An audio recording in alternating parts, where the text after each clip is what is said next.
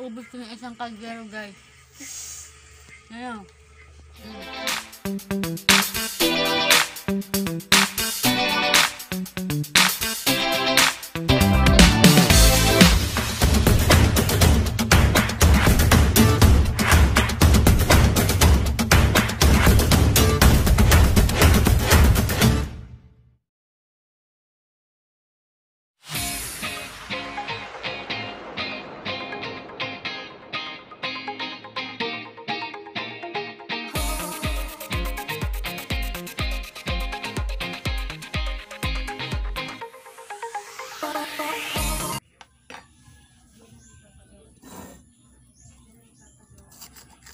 ayan po, naghihiwa ko ngayon ng sibuyas para ilagay natin dyan. At, ayan po, hindi ko na na siya na, ano, paglagay ko ng sardinas kasi nakalimutan ko siya i-video. Ayan. So, ayan po.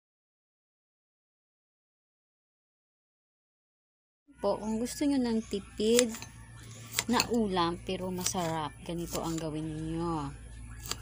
Ayan.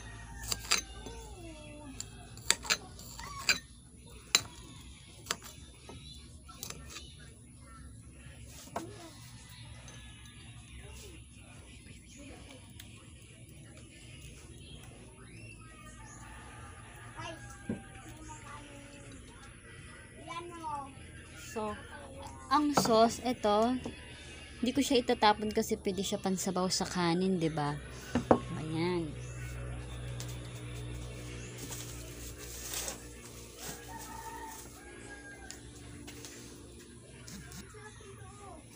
So, ayan, durugin lang po natin yung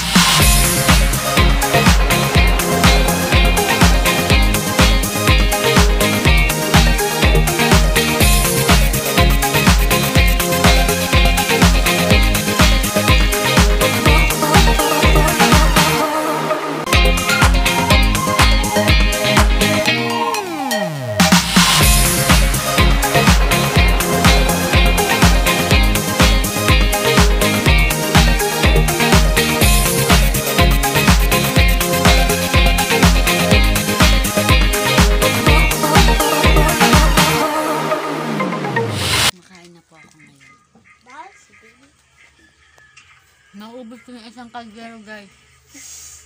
Ano? Mm. Taob ang So, ayan guys, tapos na silang lahat niyang kumain. Ako na lang talaga ang tira niya. So, ganyan nakakalakas kumain.